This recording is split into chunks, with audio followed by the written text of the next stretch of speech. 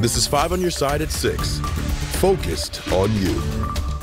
To discharge Just over two months after Missouri's Attorney General demanded Kim Gardner resigned, the embattled St. Louis Circuit Attorney does just that. In a letter to the people, Gardner stated, quote, the most powerful weapon I have to fight back against these outsiders, stealing your voices and your rights, is to step back. Gardner's resignation is effective June 1st. Thanks so much for joining us. I'm Kelly Jackson, in for Anne Allred. And I'm Mike Bush. We have live team coverage of today's resignation. We have reaction from the politicians calling for her to step down, as well as from Kim Gardner's supporters. But let's begin with Christine Byers, who is live outside the circuit attorney's office. Christine.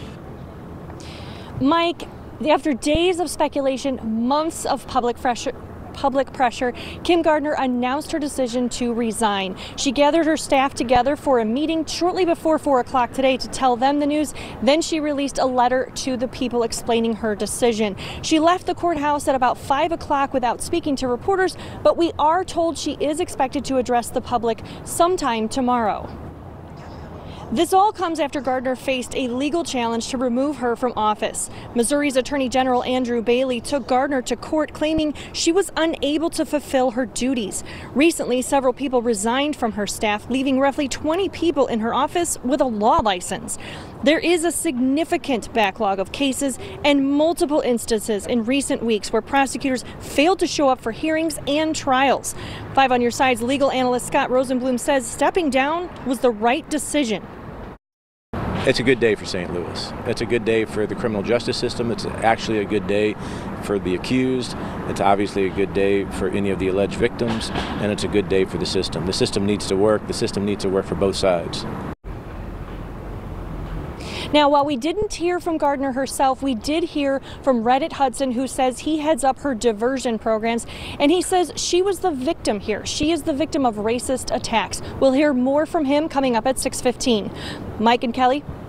Christine, thanks. Right now, reaction to Gardner's resignation from both local and state politicians is coming into the newsroom. Our political editor, Mark Maxwell, joins us with who we've heard from so far, Mark. Kelly and Mike, a flood of reactions so far. We're going to focus on the reaction from the people closest to this issue. Governor Mike Parson, for, for example, he'll have the final say in appointing Kim Gardner's replacement. Weeks ago, when his attorney general uh, started the push to expel her from office, Parson told us that he would consult with local leaders like the mayor, perhaps local legislators, in making that appointment. He says this in a statement today, quote, we fully understand the gravity of this situation and approach our duty to appoint a replacement with the utmost seriousness. We will immediately start that replacement process.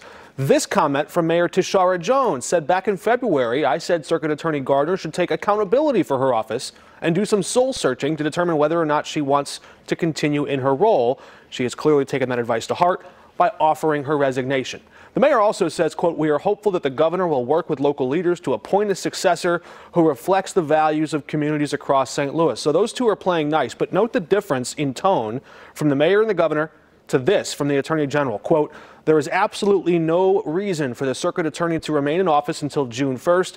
We remain undeterred with our legal quest to forcibly remove her from office.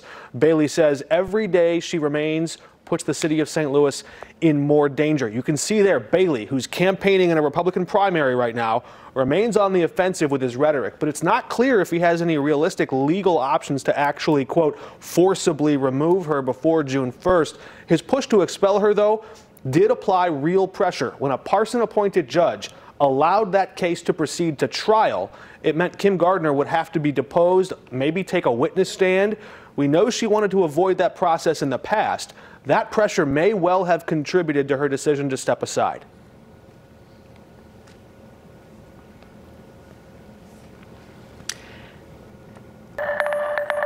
And we will continue to keep you updated on this developing story on air and online and at ksdk.com. We'll also have updates on the 5 on your side app. A mother on a mission to end gun violence dies after being shot in a hotel parking garage. The search for her killer tonight. And we're tracking some showers, but not as many as we were expecting for your Friday. And the weekend trending much warmer. Project 5 and Behavioral Health Response are teaming up to provide mental health counseling Just call the number on your screen, 314 469 6644. A mental health professional will be available to talk with you now through 1030 tonight. This 5 on Your Side newscast is brought to you by VIT. For high efficiency, high quality, and the best value in St. Louis, turn to the experts. VIT Heating and Cooling. Family is just very important. She's my sister, and we depend on each other a lot. She's the rock of the family. She's the person who holds everything together. It's a battle, you know, I'm gonna be there. Keytruda and chemotherapy been treated my cancer with two different types of medicine.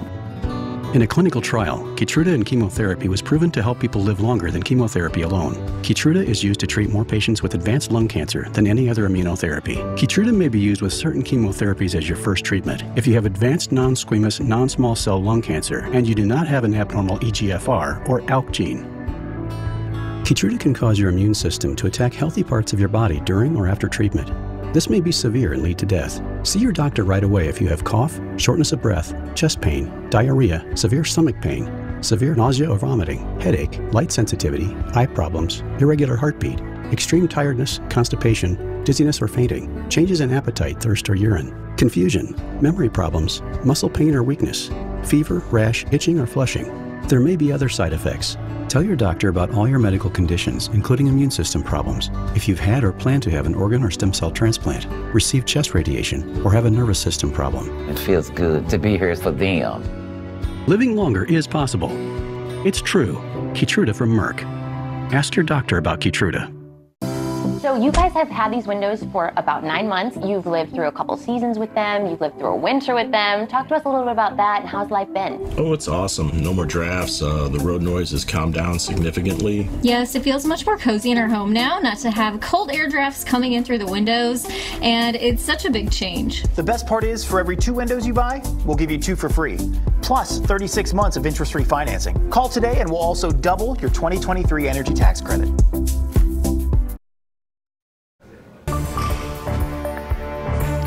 Kim Gardner supporters have rallied and stood beside her for months. Five on your side's Robert Townsend continues our team coverage. He is live downtown with their reaction to the circuit attorney's decision to step down. What are they saying, Robert? Hey there, Kelly. Let me tell you, immediately after we started hearing that Kim Gardner would resign today, I immediately jumped on the phone and started calling her supporters. Now, when that big announcement came down this afternoon, about two hours ago, several supporters of the embattled St. Louis Circuit Attorney told me it was a big surprise to them. The Reverend Charles Norris is the president of the St. Louis Clergy Coalition. Celestine Dotson is the president of the Mound City Bar Association. Both tell me they were not expecting Kim Gardner to call it quits today. That's despite Attorney General Andrew Bailey's push to remove Gardner, her attorneys not showing up for felony court cases, and dozens of relatives of crime victims criticizing Gardner and her office.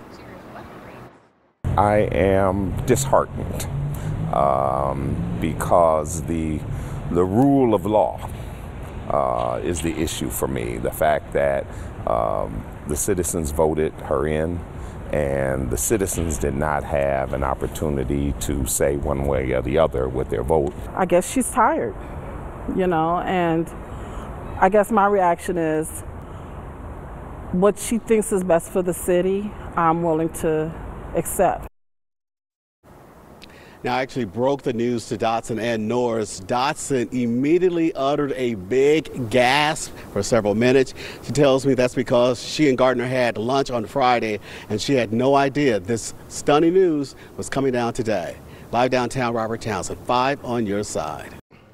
Also tonight, we're following breaking news in Kirkwood, where a former Vianney school nurse has been arrested. Aaron Forrestel is accused of having inappropriate contact with a student. She's charged with statutory sodomy and second degree and sexual contact with a student. Bond is set at $75,000 cash only. We now know the identity of the woman who was shot to death last night in the downtown St. Louis parking garage. Police have not identified a suspect, but sources tell Five on Your Side they believe the victim was targeted. Elise Schoening joins us in studio to tell us what she learned today. Latasha Stewart was a mother and a wife turned gun violence activist. Now, Five on Your Side has spoke to her several times about the work she did to advocate for her own son's murder in East St. Louis. That was back in 2020, and that murder is still unsolved to this day. Wednesday night, Latasha also became a victim of gun violence. Police say they found her body lying behind her car in the Marriott Hotel parking lot in downtown St. Louis. Now, last spring, Latasha talked with our Travis Cummings, making a plea for people to come forward to help solve her son's murder. We know there were several people out here. They know what happened to my son. Now, again, police do not have a suspect in custody yet, which means whoever is responsible for this is currently on the loose. I did speak with some of her loved ones today who were too shaken to go on camera, but they say the pain right now is surreal.